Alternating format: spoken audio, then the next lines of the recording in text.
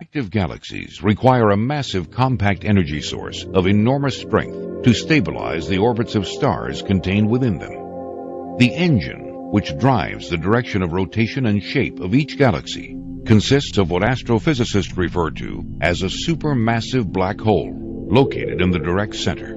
The central black hole located within our galaxy contains an estimated mass of over 1 trillion stars and is believed to be over 2 trillion miles in diameter. Many leading astro and quantum physicists also believe that supermassive black holes spin at an unbelievably high rate due to their overwhelming mass.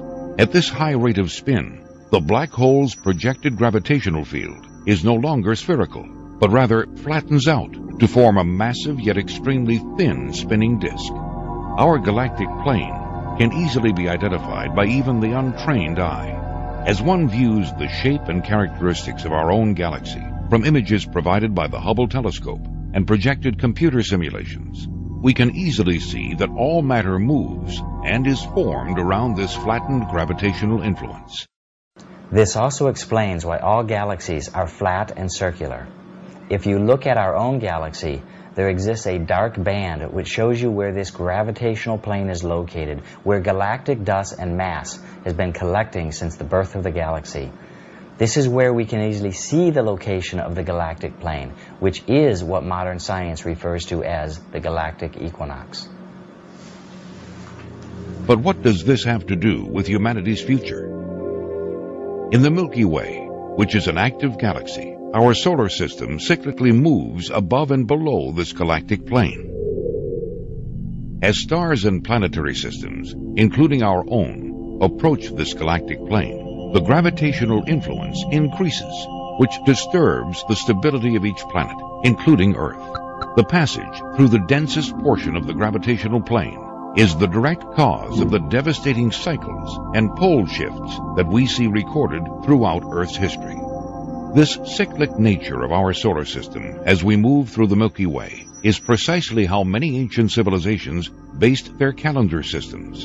The Mayans themselves describe what they refer to as the Dark Rift, or the galactic plane, in ways eerily similar to those of modern scientists and physicists. The Mayans state that the end of each age, which brings about worldwide devastation, is defined by the world sitting on the dark rift, even though the Mayans don't clearly present the science behind why the galactic plane causes severe implications upon Earth's stability in modern terminology, it is very clear that we are talking about the same event, an event where the Earth passes through the galactic equinox, the dark rift, or the central plane. It all refers to the cyclic and destructive gravitational influence created by the supermassive black hole at the center of the Milky Way. Researchers and scientists agree that we are indeed approaching the end of what the Mayans define as the current age. Even though many science groups are still debating the full implications of what passing through the galactic plane will have upon Earth, we have already begun to see the early stages that the increased gravitational influence is having upon our world and other planets in the solar system. As we approach the gravitational plane, we will continue to experience severe weather and ecological effects such as earthquakes, tsunamis, hurricanes, and volcanic activity with increased frequency and intensity.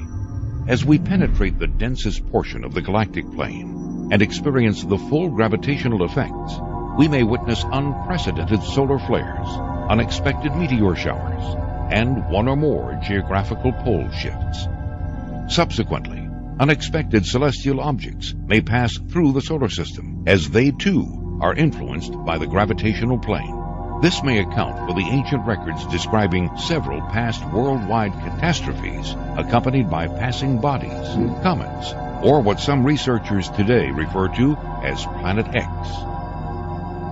Utilizing the latest in research data, we can speculate that due to the overwhelming rate of spin and the generated gravitational field, the galactic plane or gravitational disk could relatively be paper thin, requiring Earth, with our current speed of movement through the galaxy, only a few years to completely pass through this plane, experiencing the full effect upon Earth's stability. If this data is correct, Could this be what the Bible refers to as the seven years of tribulation, in which the earth undergoes a series of devastating global catastrophes which result in the death of billions? Well, one thing is for sure. The ancients endured several worldwide catastrophes that all but erased their civilizations from the face of the earth. Their clues, structural remains, and records have attempted to warn us and prepare us for the reoccurrence of this cyclic event. Warnings that so far humanity has ignored.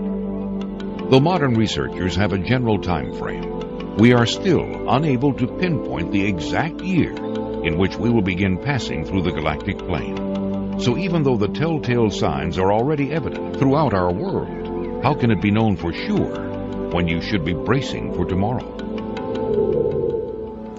Computer simulations utilizing the collection of knowledge we have amassed through decades of galactic models and satellite data tells us that our solar system will definitely begin passing through the galactic plane in the very near future. The most severe effects that will cause worldwide devastation and a pole shift are most likely to occur beginning sometime between the years 2008 and 2015.